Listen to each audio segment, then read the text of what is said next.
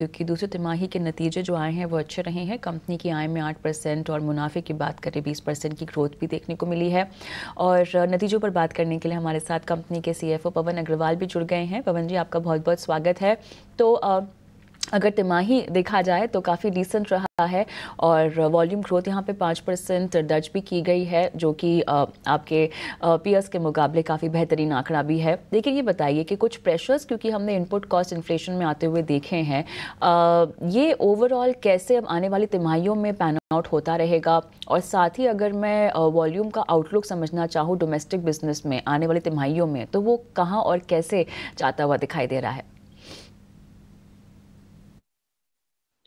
First of all, uh, thank you for inviting me on the show. It's always a pleasure to talk to you guys. Uh, जहाँ तक volume growth का सवाल आपने सही कहा पाँच परसेंट की ग्रोथ काफ़ी इंकरेजिंग है and given the fact that हम पिछले क्वार्टर से इम्प्रूवमेंट देख रहे हैं uh, दो क्वार्टर पहले तीन परसेंट थी पिछले क्वार्टर में चार परसेंट थी इस क्वार्टर में पाँच परसेंट डिलीवर करी है साथ ही साथ अगर आप वैल्यू ग्रोथ देखें तो हमने अप्रोक्सीमेटली आठ परसेंट की ग्रोथ दी है बोथ इंडिया और ओवरऑल मैरिको ग्रुप लेवल पे uh, जो कि काफ़ी सेटिस्फैक्ट्री uh, है आपने ये भी सही कहा कि कॉस्ट इन्वायरमेंट थोड़ा टफ हो रहा है। इनफैक्ट अगर मैं आपको कुछ इंडिकेशन दूँ हमारी की रॉ मटेरियल्स के बारे में तो copra approximately thirty percent plus है in terms of cost similarly अगर आरबीओ और सनफ्लावर ऑयल की बात करूँ तो वहाँ पे भी हमने 10 से 12 परसेंट की तेज़ी देखी है। हालाँकि इस तेज़ी के मुकाबले हमने जो प्राइस इंक्रीज ली है, वो काफ़ी कम है। जैसे फॉर एग्जांपल पैराशूट में हमने अप्रोक्सीमेटली छह परसेंट की प्राइस ली है। क्वार्टर वन में another four percent in quarter two similarly हमने एडिबल ऑयल में भी एक सर्टन प्राइस इंक्रीज ली है बट हमारी ऑब्जेक्टिव हमेशा ये रहती है कि हम uh, सारा कॉस्ट पुश कंज्यूमर्स को पास ऑन नहीं करें और कोशिश करें कि जितना कम से कम पास ऑन कर सकें और कुछ हम एब्जॉर्ब कर लें। So to that extent yes margin में थोड़ा प्रेशर है but we are pretty comfortable with that And going ahead, if you ask me uh, from a revenue trajectory perspective, we believe that going ahead, uh, improve. Both on the volume growth side as well as uh, revenue. Revenue में हम expect करते हैं कि आगे जाते हुए हम double digit की growth दे पाएँगे। और जहाँ तक मार्जिन का सवाल है हम ऐसा उम्मीद करते हैं कि मार्जिन थोड़ी कम रहेगी as compared to where we are but still we should be able to deliver reasonably healthy growth थोड़ा सा मार्जिन पर ही अगर हम विस्तार से बात करना चाहें हालाँकि आपने काफ़ी कुछ जवाब में शामिल किया है।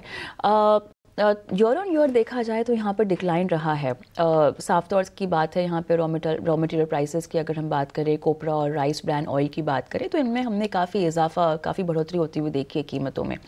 लेकिन अब इस प्राइसिंग को आप कैसे मैनेज कर पाएँगे? क्योंकि यहाँ पर कंपेटिटिव मार्जिन को भी आपको संभाल कर रखना पड़ेगा। तो आ, कैसे इस बढ़ते हुए कॉस्ट को आप मैनेज करेंगे कंज्यूमर्स को पास ऑन करेंगे और क्या प्राइस हाइक इसका एक परिणाम हो सकता है? सो डिपेंडिंग ऑन की कमोडिटी प्राइसेस में और कैसी हम उसकी ट्रेजेक्ट्री देखते हैं उस पर डिपेंड करेगा और प्राइस हाइक हम लेंगे कि नहीं लेंगे। लेकिन जैसा कि मैंने कहा कि हमारा फोकस हमेशा ये रहता है कि हम किस तरह वॉल्यूम ग्रोथ डिलीवर कर सकें, किस तरह मार्केट शेयर एक्सपेंड कर सकें। फॉर एग्जांपल अगर पिछले क्वार्टर में भी देखें तो हमने across the categories market share gain किया है। वो चाहे पैराशूट हो, चाहे सफोला हो, चाहे वैल्यू एड हेयर हो तो वही हमारा फोकस है।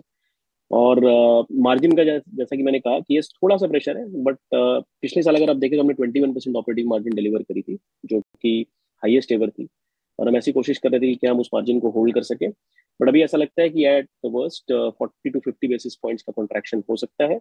बट स्टिल एच वन पे हमने double digit profit growth deliver करी और हम कोशिश करेंगे आगे जाते हुए भी जल्दी प्रॉफिट डिलीवर कर सके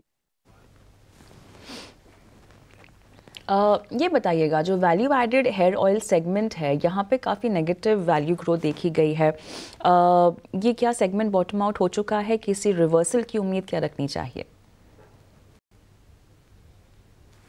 तो हमारे सारे सेगमेंट्स में अगर आप देखो तो एक वैल्यू एड हेयर ऑयल ऐसा सेगमेंट है, जहाँ पर हमने, हम खुद अपने आप से थोड़ा निराश है, जहाँ पे आठ परसेंट की वैल्यू डिक्लाइन देखने को मिली है। बट उसमें भी दो तीन चीज़ें हैं। एक तो first of all offtake growth की अगर बात करूँ, जो कि real consumer parameters consumer sentiment को दर्शाता है, वहाँ पे हमने approximately four to five percent की ग्रोथ देखी है।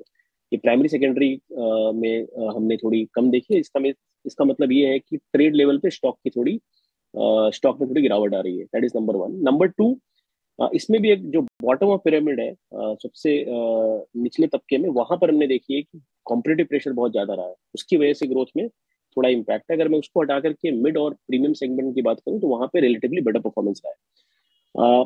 Going ahead we are investing behind the category in certain segments and we believe that आगे जाते हुए ये परफॉर्मेंस डेफिनेटली इंप्रूव होना चाहिए. And definitely you are right that this is this definitely definitely bottom down performance यहाँ से कल बेहतर ही हो सकता है। ये बताइएगा कि रूरल डिमांड की अगर हम बात करें क्योंकि ये सब खबरों में आ, समझ में आ रहा है या सुनाई दे रहा है वहाँ पे इम्प्रूवमेंट आती हुई दिखाई दे रही है। आ, क्या इसके पीछे एक वजह ये हो सकती है कि अगर हम शहरी इलाकों को देखें तो वहाँ पे थोड़ा सा सॉफ्टन हो रहा है मामला और इसीलिए रूरल में हम डिमांड बढ़ती हुई देख रहे हैं या कहानी कुछ अलग है जो कि आप बताएँगे? नहीं अगर आप रूरल देखो तो यस पिछले तीन क्वार्टर से rural has been growing ahead of urban और हम ऐसा उम्मीद करते हैं कि रूरल इवन की मानसून भी काफ़ी ठीक रहा है और अगर इन्फ्लेशन चेक में रहेगा तो rural demand going ahead should only improve जहाँ तक अर्बन का सवाल है तो इसमें डिफरेंट सेगमेंट्स हैं। अगर आप अर्बन में देखो तो टॉप एंड जो है which is the top upper middle class and top end वहाँ पर हमें कंजम्पशन की कोई कंजम्पशन uh, की कोई uh, उसमें इम्पैक्ट नहीं देखा है हमने। इनफैक्ट हमारा प्रीमियम सेगमेंट काफ़ी बेहतर ग्रो कर रहा है। यस वहाँ पर भी जो मिडिल और लोअर सेगमेंट है वहाँ पर थोड़ा कंजम्पशन का इम्पैक्ट आ सकता है बिकॉज़ अगर फ़ूड इन्फ्लेशन बढ़ती है तो वहाँ पे हम थोड़ा स्ट्रेस देख सकते हैं।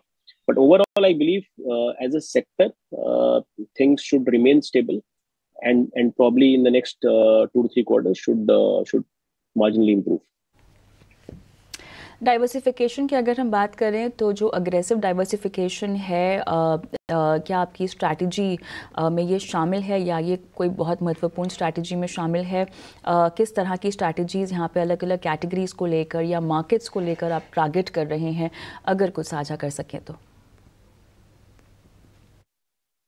सो so, इंडिया बिज़नेस में अगर मैं बात करूँ तो डाइवर्सिफिकेशन का एजेंडा हमने एफ़ आई में स्टार्ट किया था। उस समय हमारा contribution from foods plus premium personal care plus digital business से अप्रोक्सीमेटली आठ परसेंट के आसपास था जो कि एफ़ आई आते आते अप्रोक्सीमेटली ट्वेंटी परसेंट हो गया है।